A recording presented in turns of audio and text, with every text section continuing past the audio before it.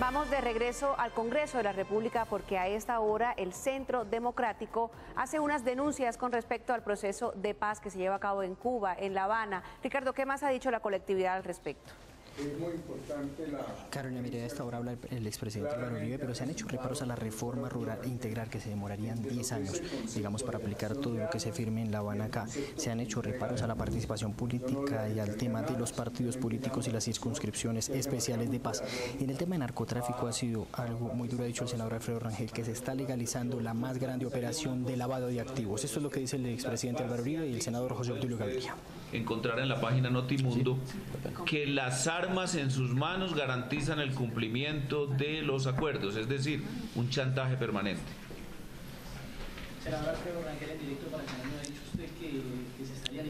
La, la empresa más grande de operación de lavado de activos en el país.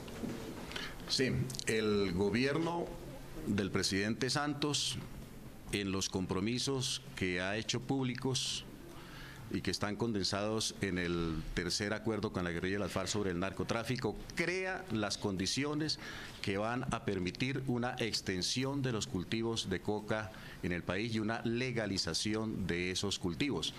Se suspende, según estos compromisos, la erradicación eh, por aspersión aérea. La erradicación solamente sería manual, voluntaria y concertada con los cocaleros después de que el gobierno cumpla una inmensa cantidad de compromisos y requisitos que son absolutamente incumplibles. Aparte de eso, se está acabando con la sanción penal para los cultivos de coca, es decir, hay una legalización de los cultivos que va a llevar muy seguramente a la proliferación y a la multiplicación de los cultivos de coca en el país y a un incremento consecuente del narcotráfico que tanto le daño le hace al país. Doctor Alfredo, eh, eh, como está en directo, yo le pediría que repita a usted algo bien importante que no se ha dicho, cómo el tema de no entregar la riqueza acumulada por el narcotráfico y otros crímenes para eh, reparar a las víctimas, cómo eso contribuye a ese lavado de activos,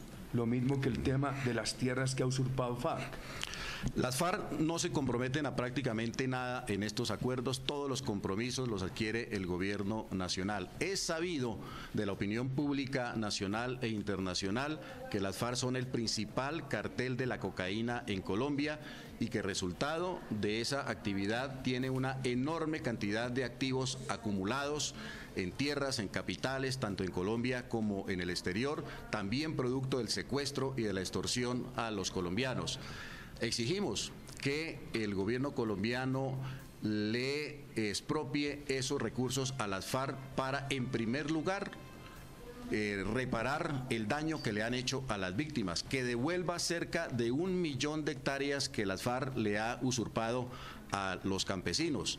No es posible que esta paz se firme Son las de una manera entonces, Carolina Televidentes, del Centro Democrático, del, ex, del expresidente Álvaro Uribe, del senador Alfredo Rangel, José Luis Gaviria, a los documentos firmados en La Habana por parte del gobierno y las FARC. Continúe usted con más noticias. Eh, Gracias, Ricardo. En Barranquilla, las autoridades desarticularon a una banda de proxenetas conocida como los depredadores, quienes son señalados de inducir a la prostitución infantil a menores de edad a la cárcel, pero un enviado de los integrantes de la desarticulada banda de los depredadores.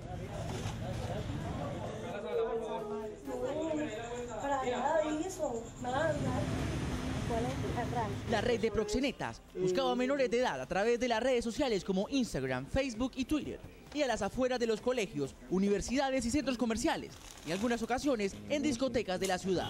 Según la policía, esas personas manejaban aproximadamente 200 mujeres entre los 13 y los 17 años. El, trabajo estaba em, discriminado en el reclutamiento, en la búsqueda de clientes, entre ellos compartían tanto los menores eh, víctimas como a los em, usuarios, los clientes que en diferentes eh, ciudades de la costa hacían requerimientos de este tipo de prácticas. El subcomandante de la Policía Metropolitana, el coronel Edgar Muñoz, confirmó que la estructura desmantelada es diferente a la de Cartagena, dirigida por la reina popular Kelly Suárez. Asimismo, recomendó a los padres de familia estar pendientes de las amistades de sus hijos e hijas, de sus salidas y el manejo de dinero en efectivo. Finalizo este avance informativo con el siguiente dato, bastante insólito, por cierto. El recientemente reelegido presidente de Bolivia, Evo Morales, aseguró que no tienen idea de qué era el ébola. Esto luego de que las autoridades sanitarias de ese país descartaran la presencia del mortal virus en un ciudadano boliviano que llegó procedente de Sierra Leona. El ébola ya ha cobrado la vida de más de 4.000 personas y es noticia mundial, pero al parecer no ha llegado a oídos del mandatario boliviano.